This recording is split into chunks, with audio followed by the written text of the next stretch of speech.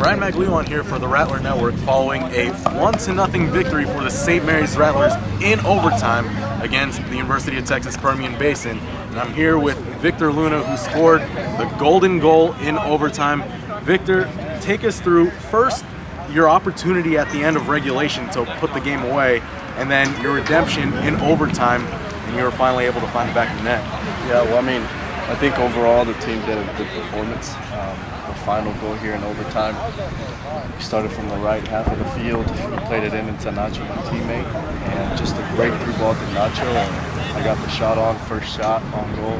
Go Victor! Go Victor! Go Victor! And as you mentioned, Go back! finding the back of the net as your teammates, having a lot of fun back there.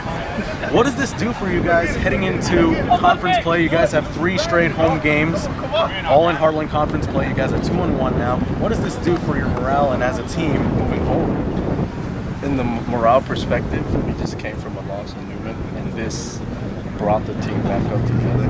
We have a game on Monday against Lubbock Christian, and that's just going to motivate us to go forward on out and leave a good mark here at home the next three games. And I think that's going to help us get forward back on the. Awesome. Well, Victor, thank you for spending some time with us after a great performance out there.